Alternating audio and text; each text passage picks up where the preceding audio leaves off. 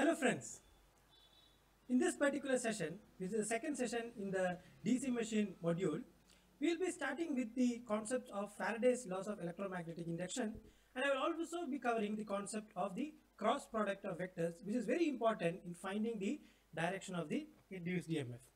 So let's start with Faraday's laws of electromagnetic induction because it's, a, it's the fundamental principle governing the DC machines, uh, in particular the DC generators. Okay. Now, the DC generators, or in, matter, as a matter of fact, any generator, the working is highly credited to the work of Michael Faraday, who introduced this law of electromagnetic induction. So, to begin with, let us look at the statement. So, this is the statement of the Faraday's laws of electromagnetic induction, which I will read it out for you. Whenever there is a changing magnetic flux and it's acting on a conductor, an EMF is induced and this EMF is proportional to the rate of change of flux. I know in many uh, areas where people teach, they just tell that the Faraday's laws of electromagnetic induction, uh, the statement they give it as an EMF is induced in a conductor when there is a changing magnetic flux which acts on it and the the amount of induced EMF is proportional to the changing flux. Well, that is not true uh, and in fact that's inaccurate also. That's why I have put this statement in bold. The amount of EMF induced is proportional to the rate of change of flux. So it depends whether the, uh, the flux is increasing or it is decreasing at a particular direction in some point of time. Actually in DC generators, this concept is not uh, very much used. But however, when you are understanding the working of transformers, this rate of change flux uh, concept comes in very much handy. Alright, so what does this statement mean? So for that, let us introduce some simple terms here, which the term here flux is important. So what is a flux? The flux is the amount of magnetic field. It is the amount of magnetic field around a magnet. Alright? Which is represented as magnetic lines of force which is represented as magnetic lines of force. So what does this mean actually? So let us take a simple drawing here. For example we are having a magnet and this drawing you might have seen in countless textbooks right from your uh, school and to your college. So when you have north and south you know this there are flux lines like this. All right so these are the this is the magnetic field which is created by the flux. And the flux always moves from the north to south. That is the convention. So the flux is actually the amount of magnetic field lines. Okay it's like a number. It is the total amount of magnetic field lines which is around a magnet. And it is represented as the magnetic lines of force. Therefore it will have a unit. So what is the unit of flux? The unit of flux is Weber. The SI unit of flux is Weber and it is usually represented by the letter phi. So phi is the representation of flux whereas Weber is the uh, unit of the flux. The next term is the flux linkage. It is the flux linkage. So what is the flux linkage? It is the extent of interaction. It is the extent of interaction between the flux and the conductor.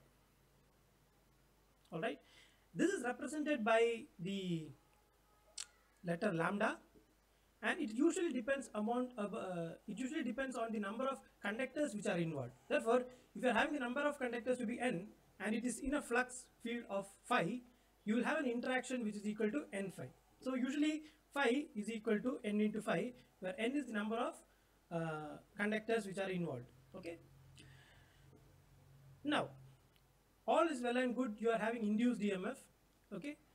Now clearly according to Faraday's laws according to Faraday's laws you need three things to get EMF one is a conductor okay? Next is a magnetic field. And third one is a relative motion. It's a relative motion between the conductor and the magnetic field. Okay, that is how you get the rate of change of flux. So, you have a conductor, you have a magnetic field and you have relative motion between the conductor and magnetic field and once these three, these three conditions are fulfilled, you are going to get an EMF induced in your conductor.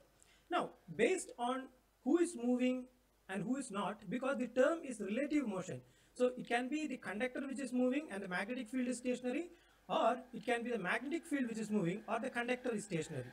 Now, depending upon who is moving, you are having two types of induced EMFs. So, the induced EMF can be divided into two. One is the statically induced EMF, statically induced EMF and both of these EMF are in the perspective of the conductor. And the next one is the dynamically induced EMF. Dynamically induced EMF. Alright. Now, what is a statically induced EMF? A statically induced EMF is an EMF in which the conductor is stationary and the field is changing. Okay. So, here the conductor is stationary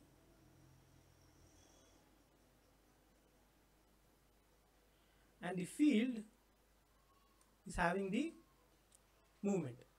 What is a dynamically induced EMF? The dynamically induced EMF, as you can clearly guess now, the conductor is the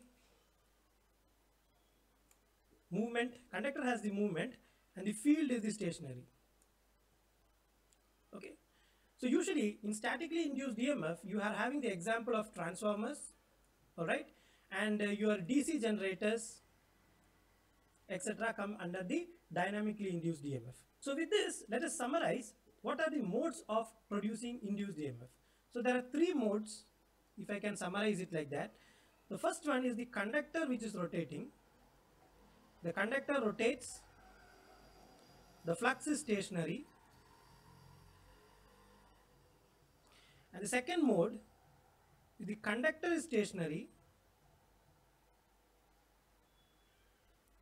and the flux is rotating.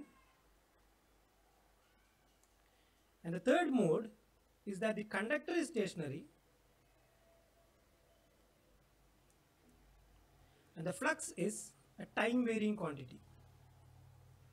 See, I have told you already, for Faraday's laws of electromagnetic induction to come into play, you need a varying flux. So that can be a variation as seen by the conductor, right? So the conductor can move and the flux is stationary, the conductor sees a change in flux or the conductor is stationary and the flux is rotating around it, it the uh, conductor again sees a change in flux or the conductor is stationary and the flux is not a constant value but it is a changing value, it's an AC quantity. In that case also you are having going you are going to have an induced EMF. So let's see what kind of machines follow all these modes. So when a conductor rotates and flux is stationary, usually it is your DC generator and small AC machines, small AC generators which are uh, rated to a very small value. In case you are you look into your labs in colleges, you can see the synchronous generator which they use, which will have usually the flux is stationary. So the next point, the conductor is stationary and the flux is rotating. Usually in this, this is used in AC generators of high capacity. That is a topic of another discussion. And the third point, the conductor is stationary and the flux is a time varying quantity and that is the transformers. So I hope you have understood the concept of Faraday's laws of electromagnetic induction as far as DC generators is concerned because Faraday's laws itself is a quite a big topic and uh, we are just going to uh, go through those areas in which DC machines are going to get involved. So with this, let me uh, conclude the disc discussion on the Faraday's laws and let us take another important topic which is called the cross product. The cross product of vectors because that is going to be used in this particular discussion. So all of you might be aware of cross product of vectors. You are having two types of operations on vectors which is the dot product and the cross product. For example, you are having a vector C which is represented by the cross product of two vectors A cross B. Now, you know that the magnitude of C will be equal to AB into sine theta which is the definition for cross product of vectors. Now, because it's a vector, it has a magnitude and it has a direction. So this is this part takes care of the magnitude and the direction of C the direction of C is equal to the direction of A cross B. So what is the direction of A cross B here? That you have to understand using a simple drawing. So let me make a small cube-like structure here. Okay, so it's a three-dimensional structure. I'm putting it in 2D. So you have to understand that this angle is 90 degree. This angle is also 90 degree. And if I put the internal structure of the cube also, so this particular angle also is going to be 90 degree. Okay, so let us have two vectors here. We'll take a different color. So, so this vector is A. This vector is A and this vector is B. So I have told you in this particular example, the direction of C is the direction of A cross B. So how do you get the direction of A cross B? For that you have to understand that the direction of A cross B, direction of A cross B, which is also equal to the direction of C, will be perpendicular to both vector A and vector B. Okay, so vector A is like this in the vertical direction and vector B is in the horizontal direction like this. So which is the plane which is perpendicular to both? That is this line here, right? So anything which is here is perpendicular to both A and B. Okay. So it will your vector C will be either here or here. So we have to find whether it is in this direction or it is in this direction. And that is where the right hand screw rule comes into play. So what does the right hand screw rule tell us? So A cross B means you take the vector A, you take the vector A here and you rotate it in the shortest path available. Why it is the shortest path? You are having two paths to rotate. See, if you want to try to bring A to B, you can either go like this in the clockwise direction or you can go in the counterclockwise direction. But as per the convention, you have to move in the shortest path available. So shortest path here is the clockwise direction. And if I move a screw in the clockwise direction, it will go inward. Right hand screw, if you move in the clockwise direction, it will go inward. Therefore, in this case, I am moving it in this particular direction, the screw will be going like this. So that will be the direction of the vector C. So this will be the direction of the vector C. now you cannot always draw cubes to explain all these concepts, right? So you have to understand the concept of the representation of the vector going inside the paper or the vector coming outside the paper. So the same diagram, let me put it in 2D properly. So this is your vector A and this is your vector B. Now, a particular line which is perpendicular to both A and B will be either going inside the paper or it will be coming outside the paper. Okay. Now, because your vector is represented by an arrow which is looking like this, if you look at a vector from here, it is going away from you. This vector is like going away from you.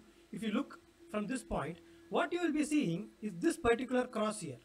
Because your arrow has a structure like this. What you will be seeing is these two particular lines here. Okay?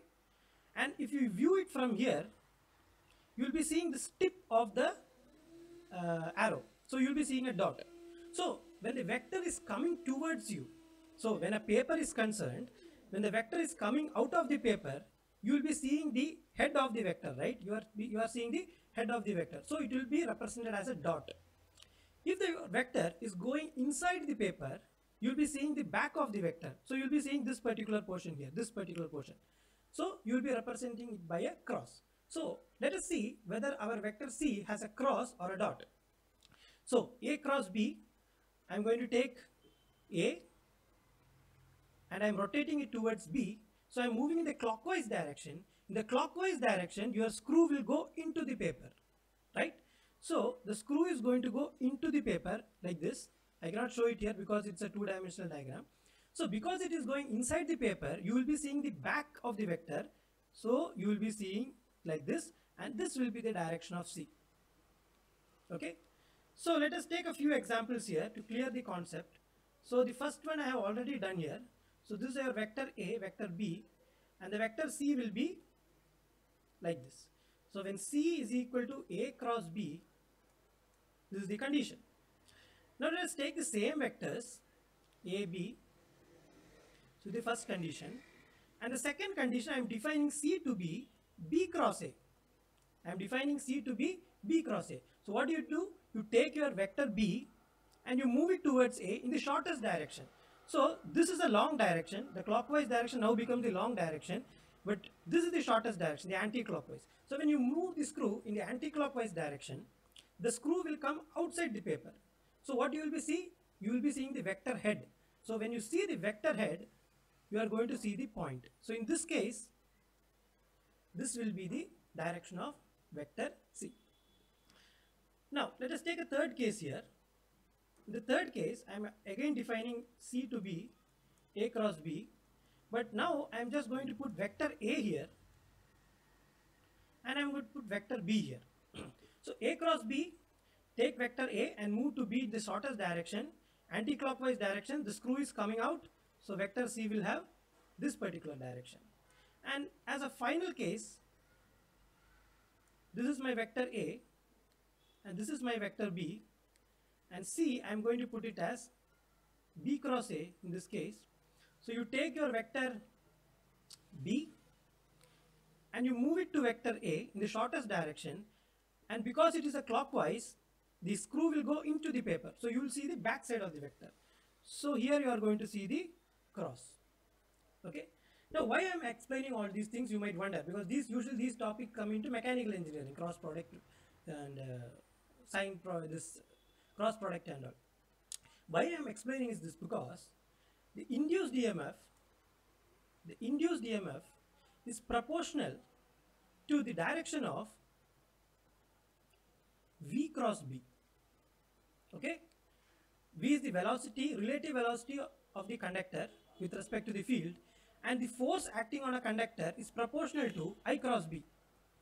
Now to find the direction of induced EMF and the force, you are having the right hand rule and the left hand rule.